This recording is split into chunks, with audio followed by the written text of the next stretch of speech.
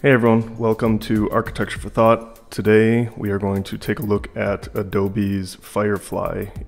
They recently released an image, text to image generator along with a whole suite and package of other tools. So I was granted beta access last night, spent way too many hours uh, working on images, and so I'm here to share with you today uh, what the program is capable of and what I came up with. So let's jump into it. So starting with the website, this is what I first saw when I clicked on the link to uh, gain access to the software. So it looks like everything, at least right now, is on this web page. Uh, they've got the text to image, they've got text effects, and then a bunch of coming soons, which some of them look maybe more useful to some disciplines than other disciplines. Uh, probably way more catered towards graphic designers or um, just anything in the field of kind of visual design. So there's also a great video where they kind of showcase a lot of the uh, different tools and how they can be used. I won't play that, but I'll leave a link to it in the description so you can watch it in case you haven't seen it.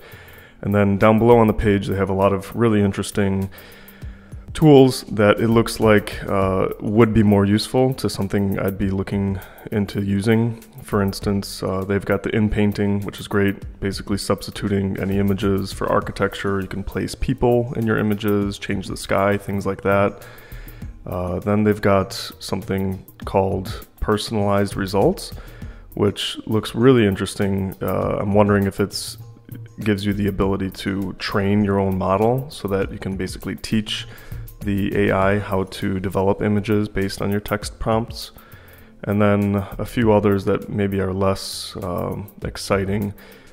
Text to vector extend image, which is basically like DALL-E's outpainting 3D to image, which does look interesting. Um, I'm curious to see what the program is going to be like in terms of placing the 3D objects. Um, that could be a big one because if the 3D objects actually have digital mesh geometry associated with them, uh, it could be a really quick way to either import or export 3D models and or just produce really quick renderings based on some simple geometry as they're showing here.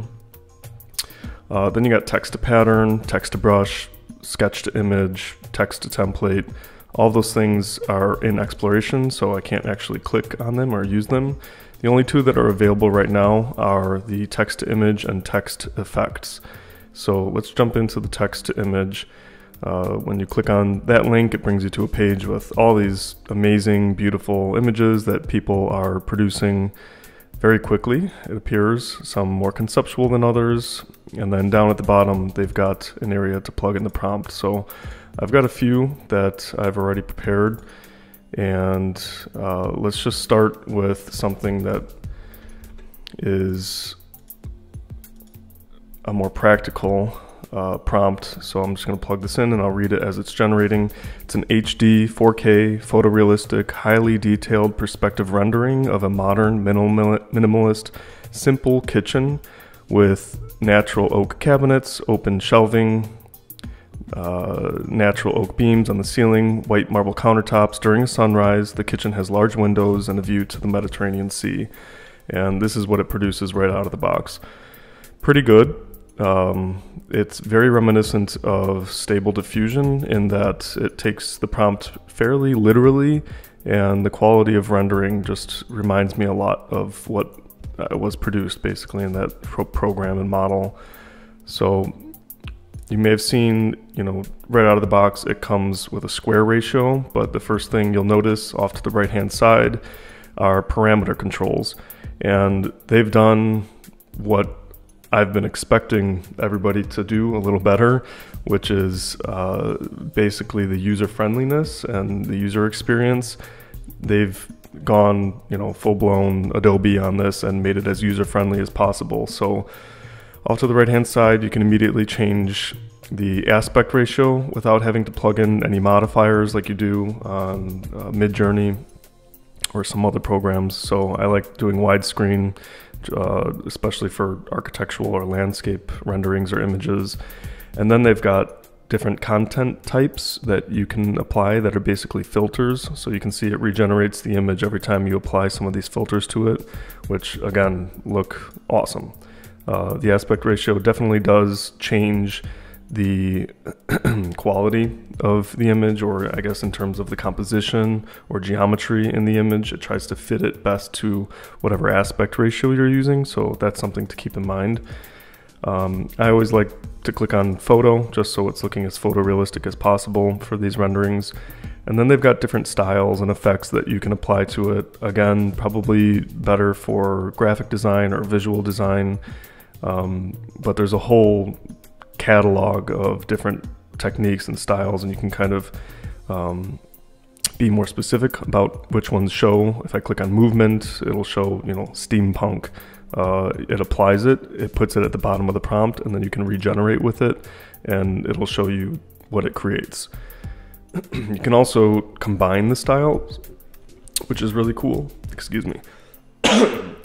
and I've noticed that uh, the style overrides they, they aren't as effective, I guess, when you start combining like photo with steampunk. So I'm not sure if they have some work to do on that or if I'm just using it improperly, but I'm gonna uncheck that because then I don't want all my images to turn out to be steampunk right now.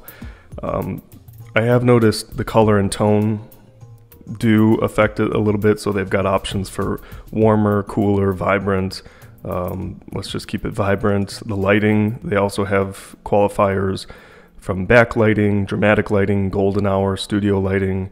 So we're going to do the golden hour just so it has kind of a more warmth look to it.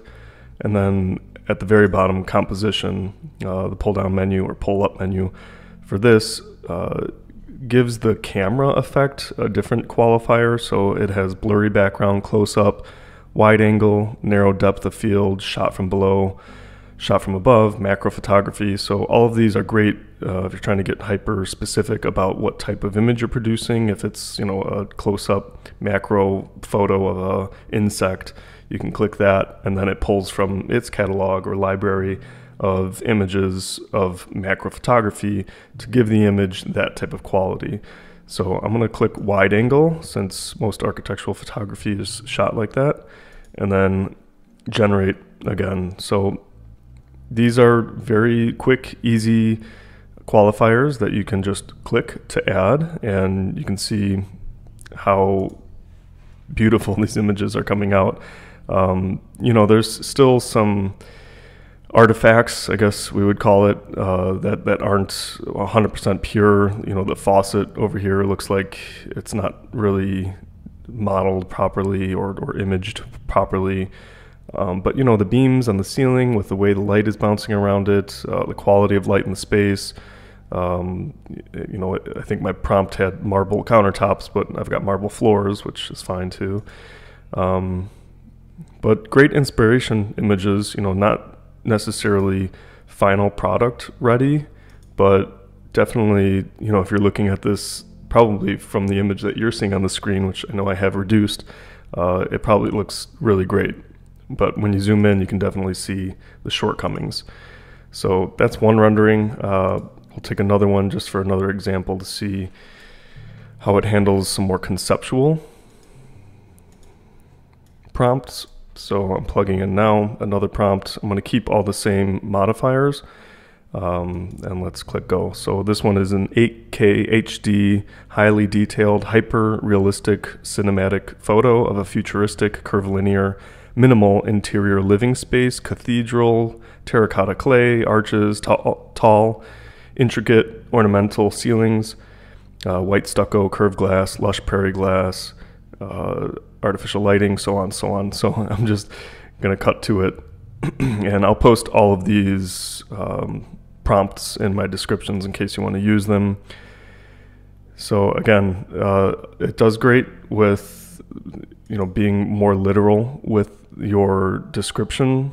I think the less descriptive you are, it actually asks you to be more descriptive in your prompt. So I can show you what that looks like if I just said um, curvilinear minimal interior living space and let's run that through the generator. You also notice that it's running really quickly. Um, the the generations take you know all of 10 seconds at most. So this one did run through. Uh, sometimes I don't know. I got a warning when I just had like one word. I think it was, but yeah. See, so this pops up. It says prompt is too short. For the best result, use a longer prompt and describe it. it cut out there, but describe you know basically what you want. So it'll give you a picture of space if that's what you're plugging in. Uh, we'll jump to just a couple more. I'm to try and keep this session short and concise. So this one, if we're jumping back to a more realistic use for the program for architects, uh, it definitely has a great catalog of realistic architecture that it's drawing from because it's producing, you know, fairly accurate renderings of uh, these kind of architectural prompts that I'm putting in, and this one was of a contemporary, modern, futuristic, orthogonal, grand architectural villa, large glass windows, etc., etc. So, something that's interesting is it has uh, we'll run through some of the details here now. Uh, a show similar button at the top left corner of each image. And so that's sort of like Mid, Midjourney's um, variations button, V1, 2, 3, 4.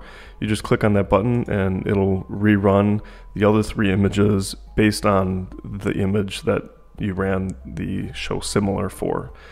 Uh, you've also got the option to download your image, and when you do that, it produces this little prompt box that says prompting transparency in AI. Adobe is committed to promoting transparency around content generated with AI tools like Adobe Firefly. When downloading the content generated with Firefly, basically says you're going to get a stamp on your image. Uh, sort of like what DALL-E was doing with those what, four or five little colors at the bottom left hand corner of the image. Uh, so I'll say continue and it applies it, basically pulls it, uh, saves it, and I'll pull it into my browser so you can see it here. So that's the image, uh, really large already right out of the box, so you don't need to enlarge or upscale or anything like that, uh, at least right now. And then you can see at the bottom left hand corner, it's got the stamp there of approval. So let's go on one more and I'll show you something else that's really interesting is we've got the option to basically use any of the generated images as a reference image in a new set for a prompt. So this prompt was uh, cinematic photo, modern, minimal, organic, sculptural, fluid, smooth, high-end, expensive, curvilinear, epic, architectural villa, blah, blah, blah. Um, you know, I think these images are looking great, a little comparable to uh, Midjourney in some cases. I think Midjourney still has a great ability to blend images together. So if that's what you're into, that's great. But this is a great competitor. You know, this is the, the, the, the top dog, and they're producing a great user-friendly product here. So um, some of the other options I didn't finish showing you are you can submit it to the Firefly gallery, which basically just puts it on that homepage if they approve your image. Um, use this image as a reference image, which I'll show you right now. Copy to clipboard, which I think just basically copies the image in case you want to paste it into Photoshop or report the image. So let's use this as a reference image. And as soon as I click on that, it drops it to the bottom left of your prompt box and it shows a little slider bar to basically indicate how much you want it to reference the reference image or how much you want it to play off of the prompt. So you can continue kind of generating it and sliding it back and forward and playing with it like that basically to uh, create new prompts based on that existing prompt. So if you use that image, but you totally wanted to change it up and say, you know, a modern orthogonal architectural villa in Santorini, and let's make sure my text is correct and generate that It's going to, again, take the inspiration image and produce some options for you. And then you can kind of continue, you know, going on and on and on. And you can see, you know, here I have the slider bar fairly, you know, off towards the right hand side. But if I swing it back to the left, back towards the reference image, it's going to use that geometry, the colors, um, you know, kind of the quality of the image and produce images again for you. So if you didn't like it, you know, too conceptual looking at the beginning, you can kind of pull it back with some more um, traditional terms or qualities of the image and basically produce a more custom image to what you're looking for. So that's going to be it for now. We're going to cut off and um, let me know what you guys think in the comments and would love to hear your thoughts. And if anyone else has access, would love to see what you guys are creating out there. So thanks again for stopping by, and we'll see you soon. Bye.